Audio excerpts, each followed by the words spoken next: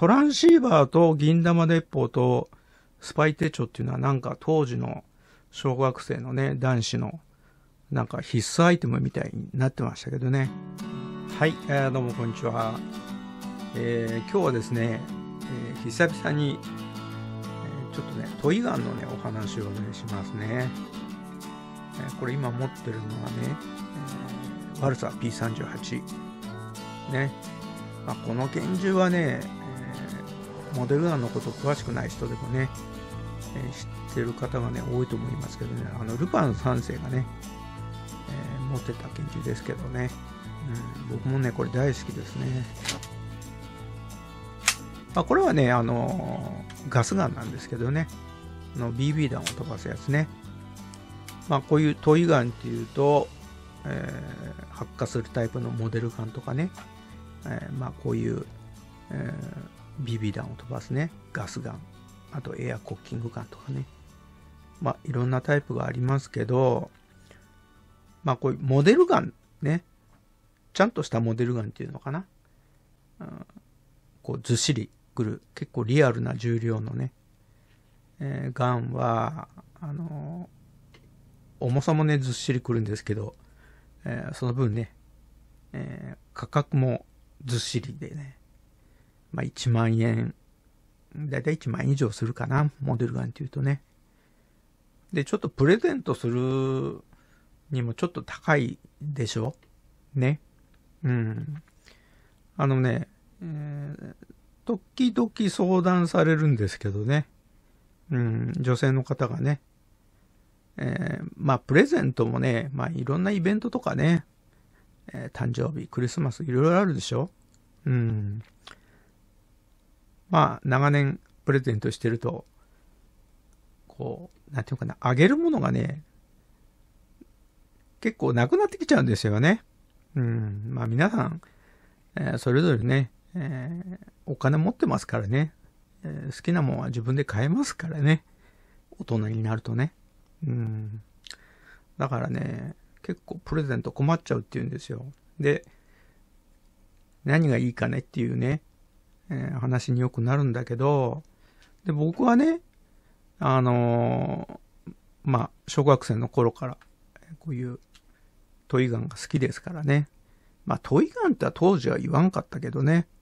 まあ、モデルガンっていう、安いのも高いのも、モデルガンって言ってましたけどね。まあ、あとは、まあ、LS っていうのの、えー、プラモデルの、ね、モデルガン買えない人の、えー、まあ、僕も買えなかったんだけどね。あの、親が厳しかったからね。モデルガンはね、結構ダメだったんですよ。だから LS のね、えー、プラモデルを買って作ってね。なんかプラモデルの拳銃は親父はあんまり何も言わんかったんだけどね、こう、なんかこう、しっかりした作りのね、ずっしりしたモデルガンに関しては、結構ね、厳しかったんですよ。だから、まあこう、ちゃんとしたモデルガンね、っていうのを、買えるようになったのは中学に入ってからかな。小学生の頃はね、結構ダメだって言われてましたね。うん。でね、まあこういうモデルガンに行く前はね、本当に、えー、小学生の低学年の頃は、やっぱりこういう銀玉鉄砲ね、えー、こういう上のところから弾入れるやつね。まあ今銀弾って言われてますけどね。こう、いいでしょ、この音がね。で、このね、たまにね、こうちゃんとかからない、こうね。これがね、またなんか懐かしいですね。うん。音もいいでしょ。これね、あのー、レプリカですけどね、これ、えー、昭和40年代に流行ったあの、石伝のね、えー、銀玉鉄砲の拳銃ですけどね、これ今でも売ってますよ。これ1000円しないよ、確かね。これ当時とね、仕上げはね、当時のとちょっと違うんだけどね。まあ作りは、ちゃんと復刻してるやつですけどね。うん。これはもう、これはね、昔予備で何丁も持ってましたね。うん。仲間同士でね、いろんななんかこう、えー、ビルのね、倉庫のビルの、この中へね、みんな隠れてね、打ち合いやったりとかね。なんか廃墟みたいなところでね、結構ね、スパイごっことか刑事ごっこみたいなことやってましたけどね。まあ当時はあの、えー、僕らはあの、キーハンターごっこっていうことやってましたけどね。で、あとは、えー、サンスターのスパイ手帳を持ってね。うん。あとトランシーバーね。トランシーバーと銀玉鉄砲とスパイ手帳っていうのはなんか当時の小学生のね、男子のなんか必須アイテムみたいになってましたけどね。うん。これね、今でもね、こう仕事の休憩中にパンパンやってますけどね。これね、こいつ買って懐かしいなと思って買ったのはね、もう10年にはならんけどね。うん。でも結構7、8年になるかな。でも壊れないね、これね。まあ、こ、こんな感じでね。ちょっとジャムっちゃうんだけどね。まあ、これもなんか当時っぽくてね。うん、いいなってね。で、これね、あの、安いからね、こういうのどう？落ちて、なんか結構、えー、笑えるよっちってね。あげる方ももらう方も負担なんないでしょ ?1000 円ぐらいだとね。で、これあのー、的とかね、え銀玉の玉とかね、セットで、1000円とか2000円ぐらいで売ってますからね。これアマゾンで普通に売ってますよ。赤電の銀玉鉄砲ってやつね。で、これだとちょっとおちゃらけすぎちゃうからってことで、こういうのじゃどう落ちてね。これクラウンだったかな。えー、ね、コルトの25とね。これエアコッキングだからね、結構力強いんだけどね、パワー出て。ただね、これはね、あの、こう見てわかると思うんだけど、これスライドね、ここ、開かないでしょ、これね。これ閉じたまんまなんだけどね。だからちょっとリアル感はないんだけど、このルックスはね、結構なんかいい感じなんですよ。ただ軽いけどね、重量はね。で、こんな感じでね、マガジン抜けますから、こっからね、玉入れるんだけど、なんかいいでしょ？これも安いよ。これ2000円ぐらいじゃないかな。でね、これはね、あのー、後入れね、僕がマジックでね、あの、ペイントマーカーですよ。普通の。うん。これどうやって塗るのって言われるんだけどね、ペイントマーカーでね、ピャーってこう塗るだけです。塗ってすぐ拭き取る。うん。で、綺麗に取れないときは、あの、ジッポーのね、オイルとかなんかでね、えー、布につけてね、擦ればね、その表面だけ、えー、取れますからね、すぐね。で、この溝のね、えー、エンボスのところにだけ入りますからね。うん。これ簡単にできますよ。うん。で、マーカーだったらこれ落ちないしね。小学生の頃はね、あの、小麦粉を、なんかこう、バーってやってね、なんかやってましたね、そんなに。僕らはね、小学校の時、ハイパトにもやってましたね。ハイウェイパトロールマンね。あれにもなんかこう、うどん粉みたいなやつかけてね。ただ一日遊ぶとね、すぐ取れちゃうんだけどね。まあこう、こういう風にね、マーカーでやると取れないからね。まあちょっとリアル感はないんだけど、ちょっとかっこいいでしょ。ね。うん。でね、このコルト25だと、ちょっとリアル感に欠けるから、まあ同じような値段だとね、この SW のボディーガードね。うん。これはね、お超おすすめですよ、これ。開くでしょ、これ。ねこれリアルなんですよ。これもちろん軽いけどね。これもマガジン抜いてね、こんな感じで。これもね、現行で売ってますからね。これも確か2000円するかしないかで。ね。ボディガの380。これ最近なんかどっか出したんだよね。丸いかなんかが、エアコキかなんか出したのかな？あ、ガスガンだな。だけどあれ確かね、スライドは固定ですよね、あれね。これはクラウンのやつで、ね。これ10歳未満のやつだからね、あの、スライド、柔らかいですからね、これ。こう、つまんだだけでできますからね。これはね、18金のエアコン機だとね、結構引っ張るのね、大変なんだけど、これは女性の方でもね、カチャカチャできますからね。うん。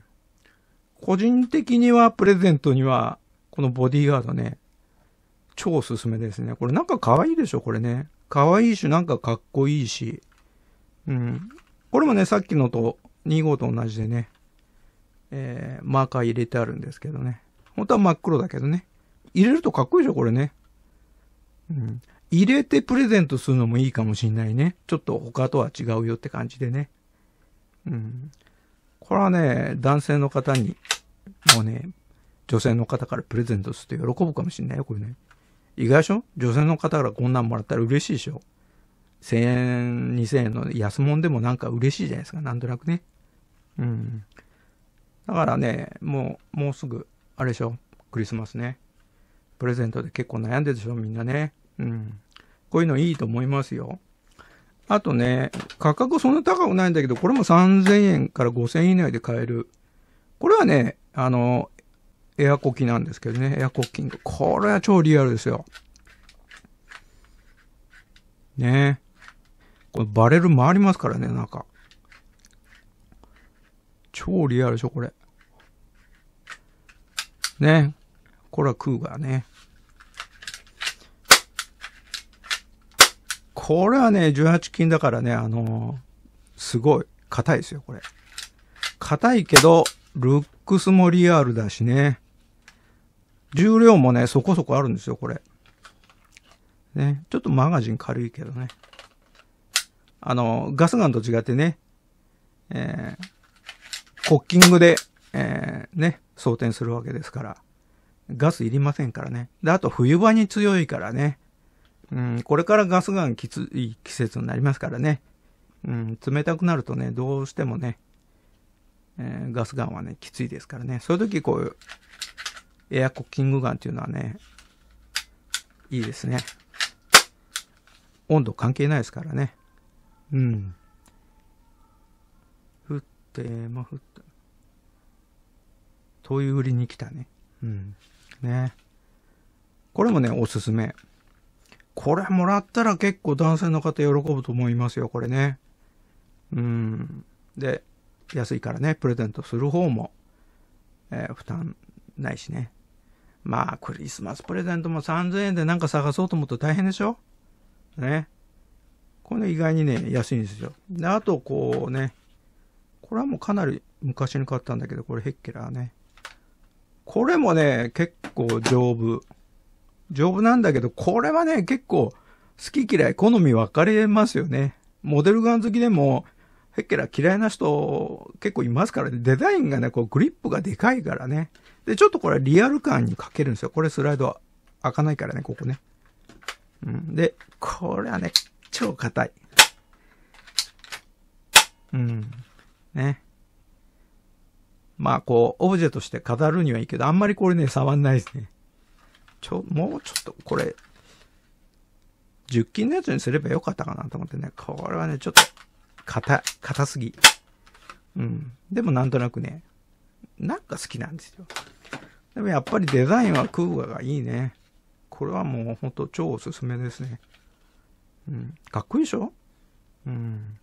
もうこれ5年以上パンパンやってっけど、壊れない。全然壊れないよ、これね。で、こう、だんだんね、こう、こう、なんだかな、ABS のモデルガンってね、こう、なんとなくこう、テカってくるんだけど、なんかこのテカリがね、なんか、えー、昭和40年代の MGC のモデルガンみたいな感じでね、なんかこう、このプラスチック感がね、いいんですよね。うんあの、小学生の時ね、あの、ハイウェイパトロールマンの41マグナムね、あれ出た時はね、結構衝撃でしたね。うん。小学ね、5年生だったかな。MGC のハイパトの41と、えー、M29 のね、44マグナムが出て、当時 M29 なんて言わんかったな。えー、ハイパトと、41のハイパトと44マグナムっていう言い方してましたね。